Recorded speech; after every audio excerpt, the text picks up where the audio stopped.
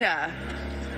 I don't know what, but the way these birds are behaving and shouting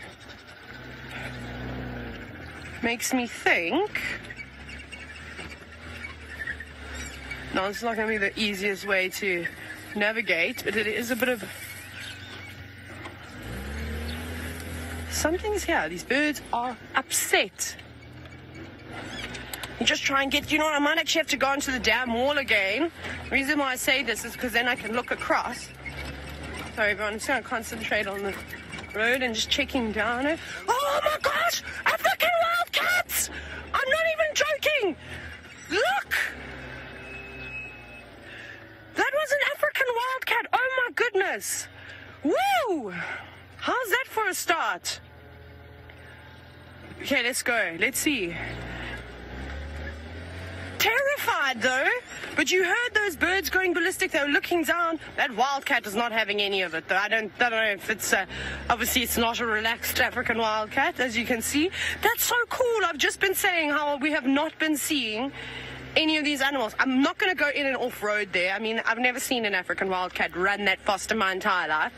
Now, imagine what it must have felt like for that cat, not because of us, but having about 20 different bird species pretty much mobbing you we know fork-tailed drongos are the kings of mobbing uh, from other bird species, 20 times their size, and also other mammal species that they don't like. So what they were doing is that they were actually almost flushing that cat out, which worked in our favor, except that. Uh, that cat was just very quick, but you may have got a super quick glimpse. Did you get a glimpse of it? It was too hard, eh? It was so fast so fast. Sorry, let me see if I can find a track here. I don't even know if it'll look like a footprint though. The cat was going so quickly. Now, it was very easy to identify as an African wildcat. Uh, yeah, here's its tracks. we're not going to see them in this light, unfortunately. And like I said, they actually don't look like much at all. They're just smudges in the road. Um, had bands on its tail. It had sort of very, very black legs and black stripes like this. And we're very, very far from sort of communities and things like that for it to be a. Hang on.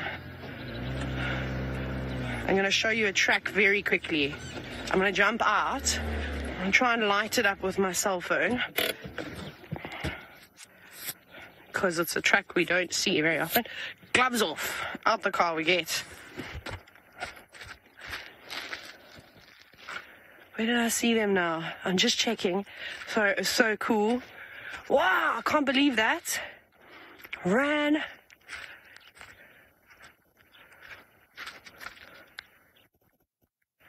Nah, I can't see them now.